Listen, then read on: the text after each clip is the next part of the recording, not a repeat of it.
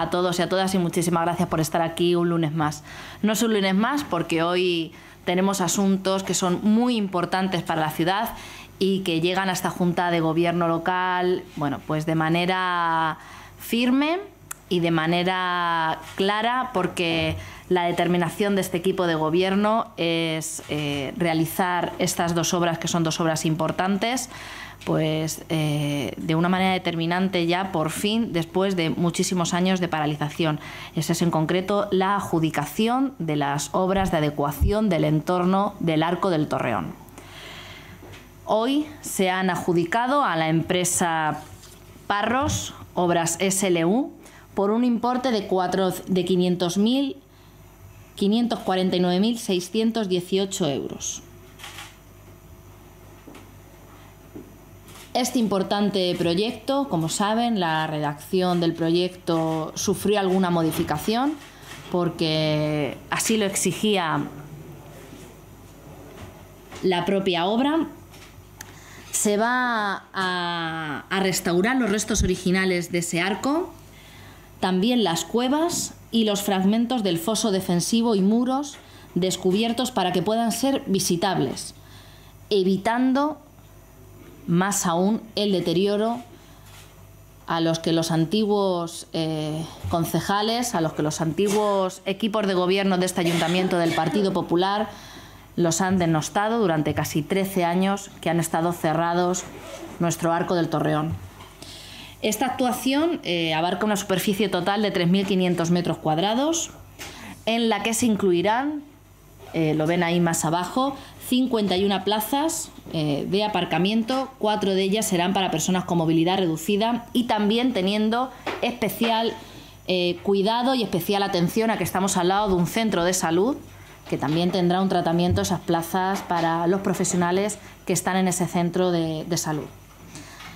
Para nosotros muy importante los restos arqueológicos, el cuidado y la protección de nuestro patrimonio. Se podrá acceder a las galerías, creando una escalera de acceso y con una infraestructura necesaria de iluminación y ventilación.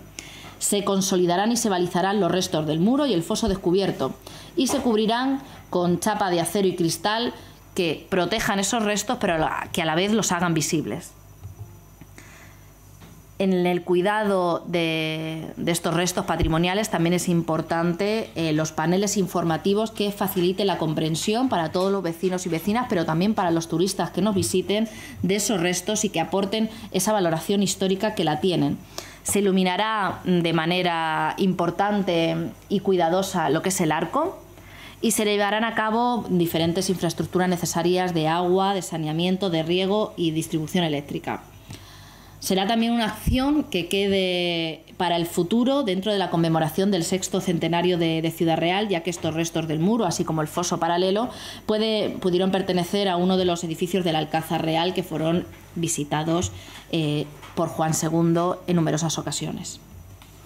Por tanto, se adjudica así la obra de adecuación del arco del Torreón y, bueno, saben como siempre que la empresa tiene un mes para presentar... Eh, la documentación que se le exige, después ya se, empezará a trabajar.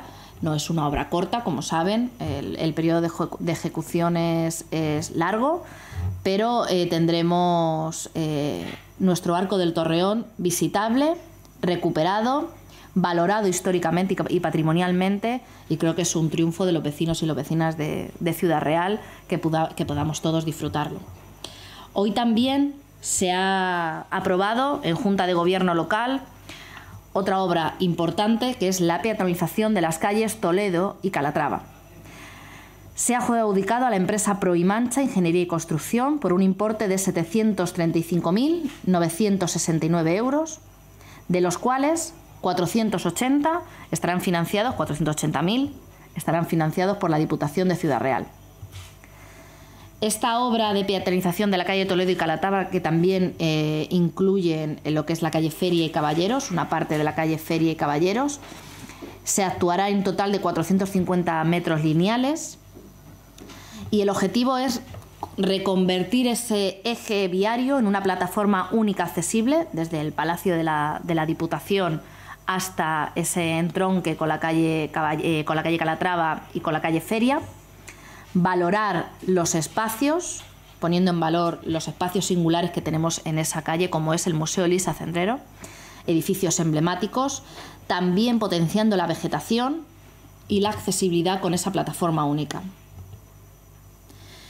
Habrá también puntos de cruce para garantizar la movilidad de las personas con discapacidad visual, desde acerado hasta acerado, eh, perdonar, desde pared a pared, que es muy importante para personas con discapacidad visual que tengan esa referencia de pared a pared a la hora de poder cruzar y atravesar ese, eje que, como digo, será de, prioridad peatonal.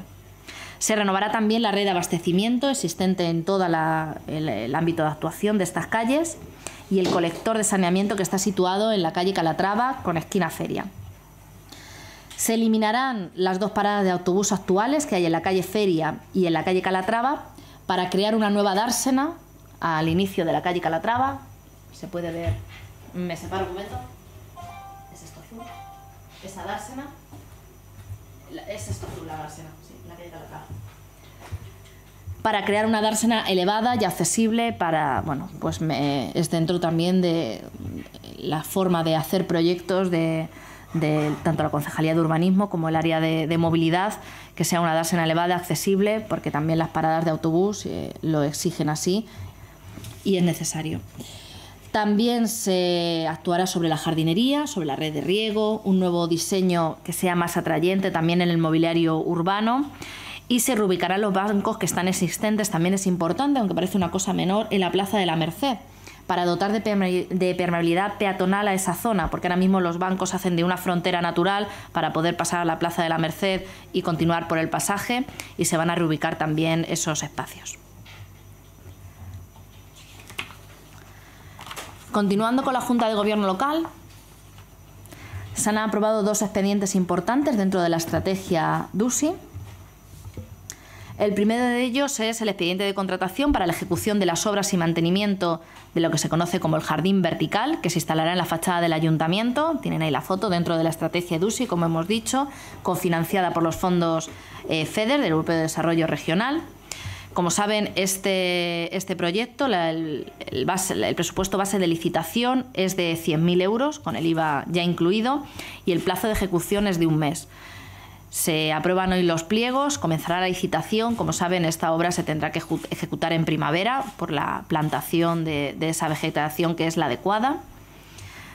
Y es una siguiente fase dentro de, esta línea estrategia de eficiencia energética. Los cerramientos ya, ya están hechos de todo el edificio de la casa consistorial y la envolvente térmica y, el aislamiento de, ese espacio pues va a conseguir la reducción del consumo de energético y también eh, reducir las emisiones de CO2 a la atmósfera. Dentro de la estrategia DUSI también se ha aprobado, pero ya en materia de administración electrónica, el expediente de contratación para un contrato mixto, mixto de suministro de software de gestión que permita la impresión centralizada mediante identificación de usuario. ¿Qué quiere decir?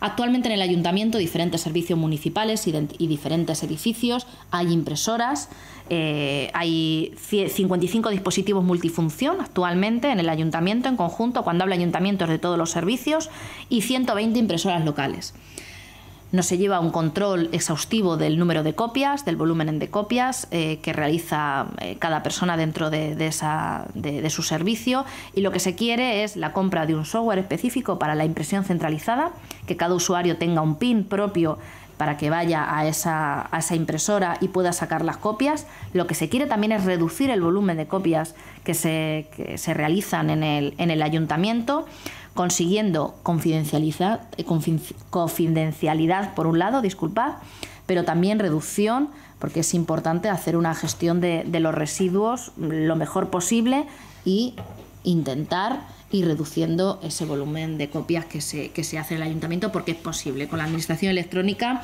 y haciendo los procedimientos de una manera mucho más racional, se puede conseguir esa eliminación de, tantas eh, copias que se realizan actualmente. El presupuesto base de licitación de este software es de 57.300 euros, con el IVA ya incluido, y la duración del contrato será durante cuatro años. También dentro de este contrato, por un lado va el software, pero por otro lado también va el hardware, las propias máquinas, y ese contrato de licitación eh, en total con el software y las máquinas será de 246.108,40 euros con el IVA ya incluido. Una parte estará financiada por EDUSI, que es la parte del software, y la parte del mantenimiento de hardware ya lo financiará el propio ayuntamiento.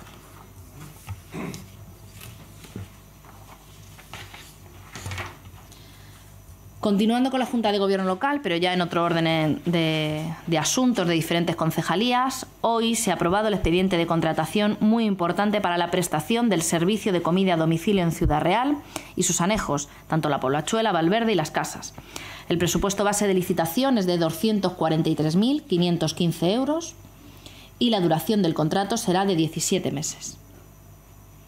Como sabe, la anterior empresa presentó esa renuncia, se hizo un contrato menor hasta que se, resuelva esta adjudicación, que ninguna persona pase ningún día sin este servicio y en cuanto se adjudique, pues se resolverá ese contrato menor y habrá una estabilidad en el servicio. También se ha aprobado la adjudicación del suministro de una ambulancia para la agrupación de voluntarios de protección civil. Se ha adjudicado a la empresa Transforma 21 SL por un importe de 67.760 euros. Y agradecer siempre en este punto la labor voluntaria de todos los voluntarios, nunca mejor dicho, de protección civil que hacen servicio para toda la ciudad en cualquier evento, cualquier actividad que, que se organiza en la ciudad. Se ha adjudicado también eh, la realización de las obras de ampliación del cementerio municipal, nichos y columbarios, a la empresa Barahona Obras y Servicios por un importe de 26.465 euros. Por otro lado, desde la Concejalía de Igualdad, se ha aprobado la adjudicación para la realización del tercer plan de igualdad entre hombres y mujeres en Ciudad Real, a formación integral y servicios profesionales, a la empresa FISE, por un importe de 6.382 euros. Este importe, este plan recogerá las principales líneas de actuación de las políticas municipales que se llevarán a cabo en materia de igualdad para el periodo 2020-2024. Y por último, para terminar, la Junta de Gobierno ha dado el visto bueno a la solicitud eh, que ha hecho el Ayuntamiento dentro de la convocatoria de subvenciones eh, a municipios de la Diputación de Ciudad Real para la organización de eventos o actividades culturales, deportivas y de juventud durante el año 2020. Le corresponde al, al Ayuntamiento un importe de 15.000 euros que podrá destinar, como hemos dicho, a cualquier actividad dentro de las áreas de cultura, deportes y juventud. Hemos solicitado esa, esa subvención a Diputación y hoy se ha aprobado en Junta de Gobierno Local. Si tenéis alguna duda de este, de cualquier otro tema, pues a vuestra. Diez meses Torreón y la peatonalización también es más, 12. Creo que eran 10 así. Eh, son. Nos iremos casi al año de ejecución de las dos obras, son dos obras muy importantes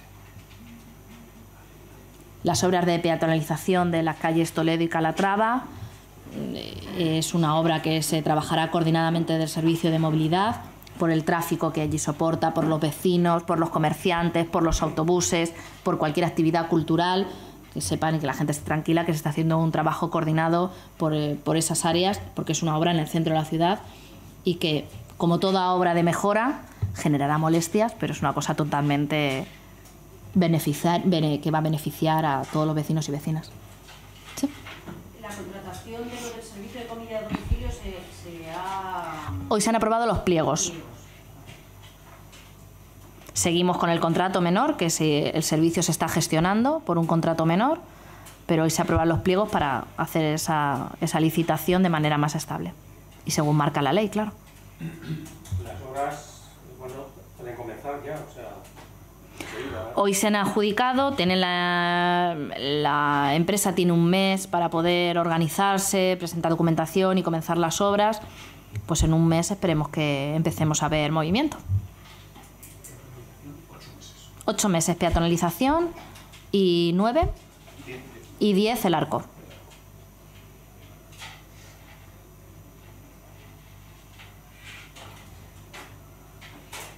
¿Sí? Pues yo invito